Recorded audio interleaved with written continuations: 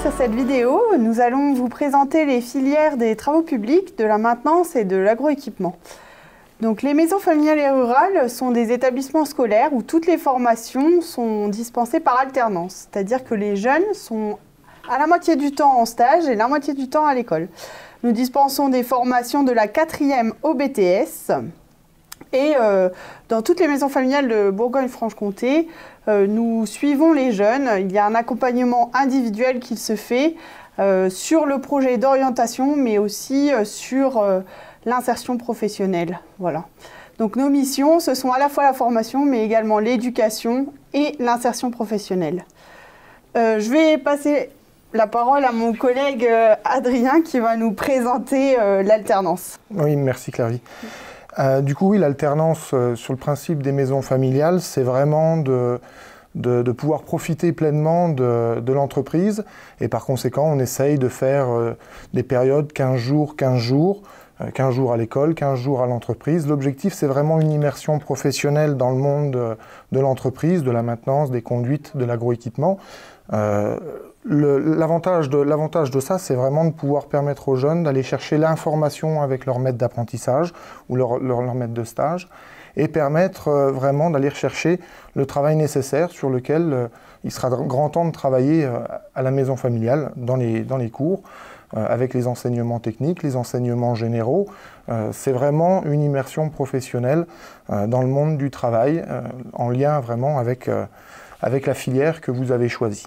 Du coup, euh, bah, je vais laisser la parole à, mon collègue David, qui va vous présenter euh, les différentes filières qui existent dans le domaine de la maintenance, des travaux publics et de l'agroéquipement.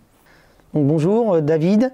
Je suis moniteur en conduite d'engin dans une MFR et je vais vous présenter donc toutes ces formations, hein, comme vous a dit votre collègue. On part donc du CAP en passant par le BRAC Pro. Dans ces CAP, on a la maintenance, on a l'agroéquipement, on a le travaux public dans les bacs, on a l'agro et la maintenance. Ces formations, on les fait euh, pour euh, des publics plus manuels, on va dire, hein, pas des gens qui ont aimé le parcours classique. Donc là, c'est l'avantage de l'alternance, ça les met plus sur le terrain. Donc on part plus sur du manuel. Les métiers euh, préparés sont très techniques souvent, donc on a beaucoup d'ateliers et comme il disait mon collègue tout à l'heure, ils vont avoir un appui de leur maître d'apprentissage et des entreprises pour s'enrichir. Là-dessus, on a une insertion très forte. Euh, nous, dans le TP, pour mon exemple à moi, on a une insertion entre 99 et 100% dès la sortie, puisqu'on fait beaucoup d'apprentissage et que dès qu'ils sortent, ils sont embauchés. Euh, dans un exemple de réussite, on a des, des élèves euh, qui ont été, euh, donc avant que j'arrive en MFR, mais que mes collègues m'ont raconté et que je connais cet élève, du coup, euh, ils ont fait tout leur parcours depuis la troisième jusqu'au CAP conduite d'engin pour mon cas. Et ils ont monté leur entreprise et maintenant ils nous renvoient l'ascenseur en prenant des stagiaires et des apprentis, en ayant embauché 3-4 personnes dans leur entreprise et en étant bien reconnus dans leur secteur. Là-dessus, justement, bah, nous, toutes nos MFR sont très bien implantés dans, leurs bassins euh, régionaux et ont des connaissances dans toutes les entreprises du coin pour justement faciliter nos apprenants à trouver des stages, des maîtres d'apprentissage et avoir un bon relationnel quand on leur rend visite. On fait vivre euh, et on participe à la vie en fait de tous les secteurs. Dans ces formations, j'ai oublié de vous parler des miennes. Hein, donc j'ai parlé de mes collègues en premier, qui nous donc dans le travaux public, on dispense du CAP, et on dispense des titres professionnels qui sont en alternance et aussi en continu pour le public adulte. Et de là, donc, je vous laisse euh, Adrien qui va vous parler plus des spécialités de la maintenance. Oui, donc sur le, merci David. Sur la partie maintenance, il faut le savoir, il y a trois options bien distinctes euh, qui se séparent donc en agricole, en travaux publics et l'option C, les options des espaces verts. Euh, il y a deux niveaux d'études possibles, le CAP, et le bac pro derrière qui va permettre une poursuite d'études sur, sur des BTS et vice-versa. Euh, l'avantage du bac pro maintenance, euh, c'est une formation sur trois ans qui peut se faire soit en qui se fait en alternance, soit en apprentissage, soit en, soit initial. et ça vous permettra vraiment, si vous êtes, si vous êtes manuel, si vous aimez vraiment la mécanique, le démontage, la réparation, c'est des formations qui sont vraiment intéressantes parce qu'aujourd'hui, il y a un besoin vraiment nécessaire de, de, bons mécaniciens, de quelqu'un de curieux. Si vous êtes, si vous êtes vraiment très intéressé à, voir comment fonctionne un sous-ensemble, une boîte de vitesse, un moteur, euh, ces formations-là recrutent énormément. Et, euh, donc du coup, euh, si c'est vraiment quelque chose d'intéressant, la pratique, le, domaine de, la, maintenance, donc deux, niveaux possibles, le CAP, si vous voulez commencer avec, des bases, des bases moyennes, et après une poursuite d'études en bac pro sur trois ans. Euh, qui vous permettra d'obtenir des jobs comme mécanicien sédentaire, mais aussi euh, tout ce qui va être dépannage, itinérance. Euh, quelqu'un qui est vraiment consciencieux, qui aime aussi manager, va pouvoir devenir chef d'atelier. Et il faut le savoir, avec les évolutions professionnelles, les compétences que vous allez acquérir au fur et à mesure de votre vie professionnelle, vous pourrez très facilement grimper chez des constructeurs comme John Deere, comme Casiach, qui vous permettront d'obtenir des jobs euh, tout à fait, euh, tout à fait euh, intéressant sur le plan technique, sur le plan, sur le plan management. Voilà, beaucoup de beaucoup d'opportunités, beaucoup de possibilités professionnelles qu'on n'imagine même pas.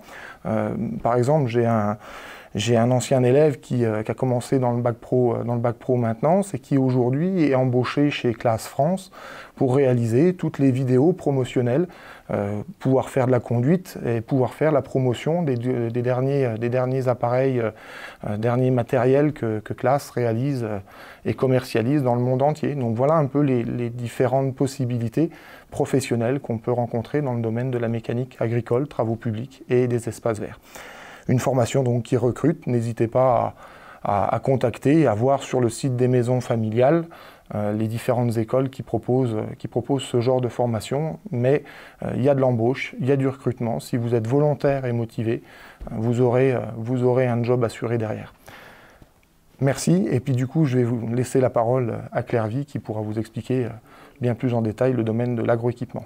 Merci Adrien. Oui, donc moi je suis formatrice et dans ma maison familiale, ou comme dans d'autres, on propose le bac pro agroéquipement. Donc là, c'est un bac pro qui est situé à la jonction entre les bacs pro agricoles et le bac pro mécanique. En effet, ce bac pro euh, permet d'acquérir des compétences à la fois en agronomie et à la fois en maintenance du matériel. Donc euh, ces jeunes vont devenir plutôt des salariés agricoles ou des chauffeurs en entreprise de travaux agricoles. Voilà. Donc ils ne sont pas mécaniciens, mais ils sont capables de détecter une panne et puis euh, de faire de la maintenance premier niveau, c'est-à-dire de, se débrouiller en fait en attendant que le mécanicien arrive. Voilà, ils ont des compétences en agronomie, ce qui leur permet aussi euh, de devenir euh, chef de culture ou de travailler pour des exploitants agricoles ou de devenir eux-mêmes exploitants agricoles. Voilà, donc après, ils peuvent aussi engager des poursuites d'études en BTS, soit agroéquipement, soit un autre BTS agricole. Euh, je vais passer la parole à David qui va vous euh, donner quelques chiffres clés sur les maisons familiales. Alors comme on parlait tout à l'heure euh, bah, des savoir-vivre, du savoir-être, de l'insertion dans les entreprises et dans les milieux locaux, donc là les chiffres, bah, en général dans, les secteurs autres, ils sont 85% des jeunes sont aujourd'hui épanouis, alors que pour les MFR on approche les 98%, donc c'est déjà une bonne qualité et 76% estiment avoir trouvé leur place dans la société et on est à 89% pour ceux qui sortent de nos cycles MFR. Donc on voit qu'on a un, vrai, un réel plus dans nos MFR pour s'insérer et avoir un bon savoir-vivre euh, et euh, s'épanouir dans sa vie professionnelle. Là-dessus, donc, les raisons du succès, donc, c'est la qualité des équipes éducatives où qu'on accompagne nos jeunes. On va s'adapter à eux, on va les aider. On va pas regarder, tiens, il est 16h30, on s'en va. Non, on va l'aider jusqu'au bout. Et euh, la vie au sein de l'EMFR, ça veut dire qu'on a un échange avec des services où qu'on leur apprend euh, comment on tient une maison, euh, pas seulement de conduire sa machine pour moi le TP, pas seulement de la maintenance, c'est que là on a un espace de vie en communauté, on vit ensemble, donc il faut que ça soit propre pour tout le monde et que faut toi tu as envie que ça soit propre pour y aller, bah, donc tu fais propre pour que les autres puissent y être. Voilà, on va faire les, au niveau des repas, donc mettre la table, ainsi de suite, balayer. Et euh, là-dessus, on rajoute donc le, principal atout aussi, euh, bon, même si beaucoup le font maintenant, c'était la base de l'alternance et que l'alternance, ça permet vraiment de vivre son métier à l'avance avant de s'insérer dans la vie professionnelle. Voilà pour euh, les chiffres et puis je vais laisser conclure ma collègue. Voilà, donc si les filières de l'agroéquipement, du travaux publics ou de la maintenance vous intéressent, N'hésitez pas à vous renseigner, à vous rendre sur le site internet des maisons familiales, à nous suivre sur les réseaux sociaux, que ce soit Facebook, Instagram ou YouTube. Et puis, euh, donc, euh, comme, euh, comme vous l'aurez compris, les maisons familiales permettent de se former, mais également de s'épanouir. Bah, merci de nous avoir écoutés. Et à très bientôt en MFR.